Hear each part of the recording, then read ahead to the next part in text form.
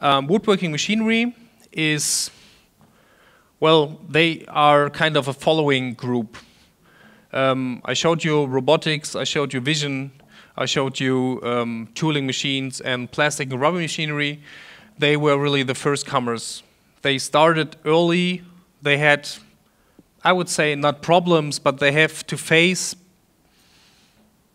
topics which others don't have to face because they learned from them.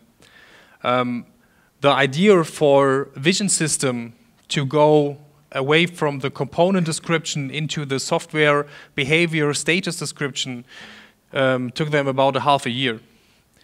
The idea to bring a motion device as an abstracted level from the robotic took them about half a year. This is something, this takes the time.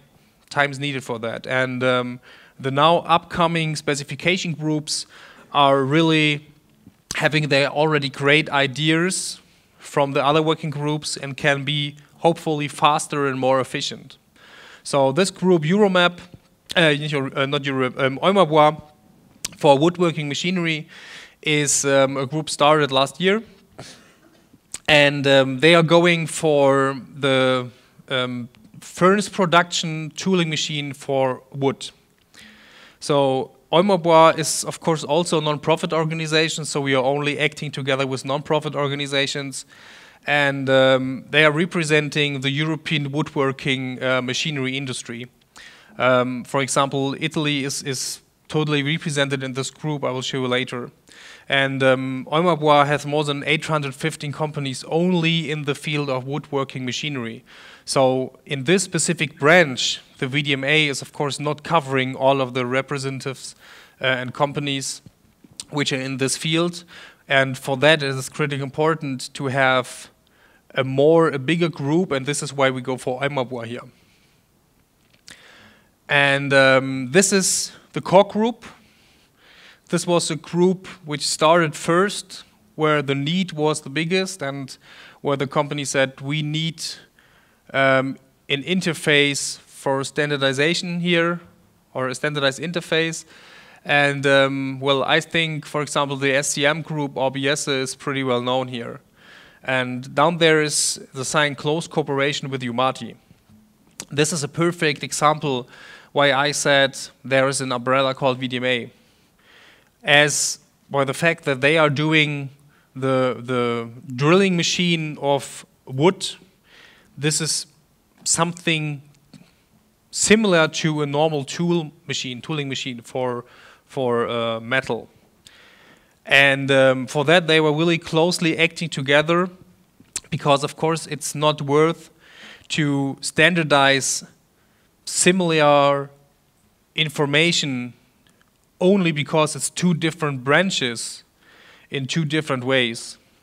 So Umati gave their in development um, documents to this woodworking machinery group, and all the way um, all the way around, um, they have um, meetings together and they they exchange their information, their development, their ideas, ideas, and also Umati, um, as my knowledge, um, got some ideas from this woodworking group.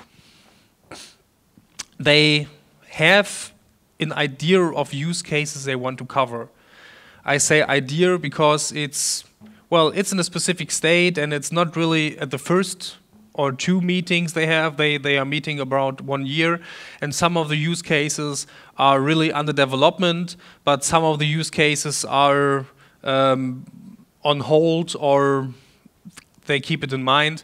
But they really want to go for is the identification, overview of states, so as you see, it's, it's somehow similar. We, we are checking really that, that not uh, that different use cases in the different branches are somehow harmonized. So it's not worse that, that one branch is doing a totally different use case than another branch. Of course, there are special needs, but somewhere we are checking that there are the, the basis use cases are developed first.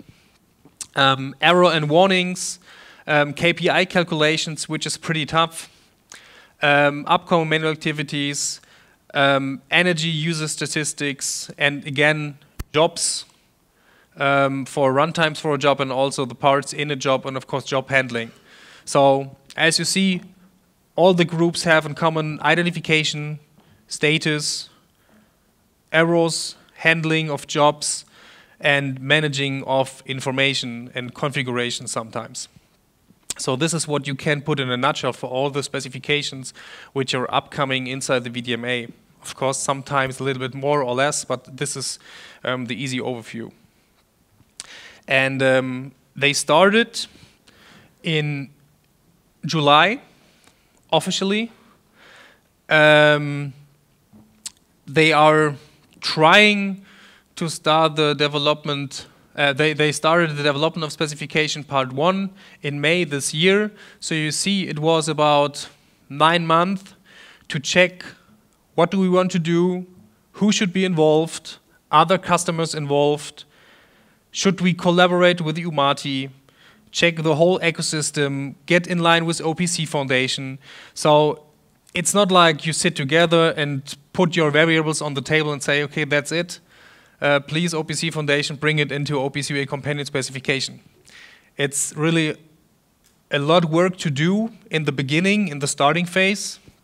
And this is where we have the possibility to really arrange this collaboration between the different branches. And yeah, they hope for a first draft specification in the first quarter of 2020. I'm not sure if they can do this, um, but this is the idea. And um, they try to have a specification with a completed demo in quarter three next year. I showed you that already, but this is critically important, and this is really kind of, please do that. If you are thinking about having a companion specification development group, or if you're thinking, me and my company, we are forced to do standardized interfaces in our field, please first check is there a group inside VDMA or is there a group known by OPC Foundation. Second, if there is not, please get in touch with us. There's no difference if you get in touch with me or with Stefan. Stefan will, will forward me the mail anyway if it's somehow with manufacturing engineering. And um, let's see if there maybe are some ideas already in the branches or maybe there's nothing. Maybe you can bring something um, new to the table here. Um, but what you definitely should not do, and this is also what Stefan already said, is just start doing a specification, maybe with one or two companies, nobody knows of that. And um, worst case, we are developing then also a specification and we have two competitive specifications on the market. This is what we definitely need to prevent. And this is where the community has to stick together and and check what is running in which organizations. And um, there's also an example for the robotic group. They did the specification and then they noticed in China there is also a kind of university association um, doing also a specification on robotics. So, worst case. So what they did is really get close in touch see if the specifications are so different or maybe they have just different use cases and they are not competitive. But what they figured out is that they have really overlapping topics.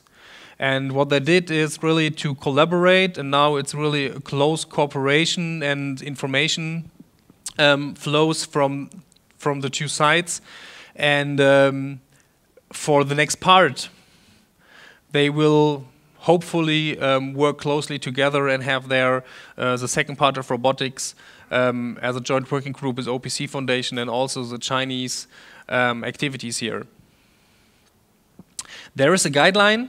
I'm not sure if you are the right people for this guideline because this guideline is really basis information. So there is what is OPC UA, why it is important for Industry 4.0, how can I do condition monitoring, predictive maintenance, um, or OE, OEE um, um, potentials. This is more in this guideline.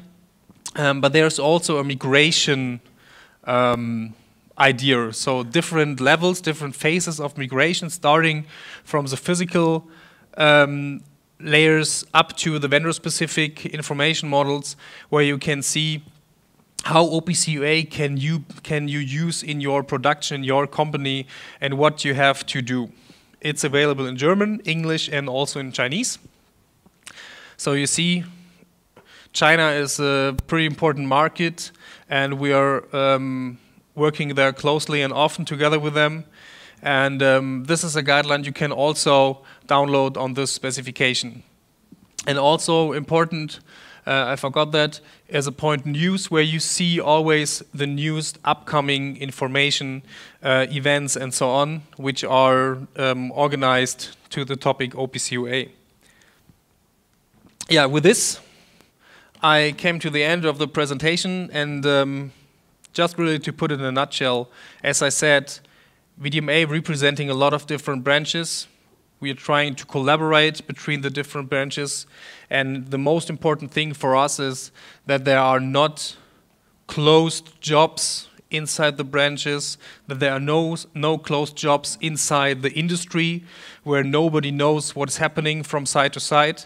And um, this is where we have the offer to um, be a kind of a harbor for ideas for interest in developing OPC UA companion specifications. And um, Stefan, it's yours. Thank you.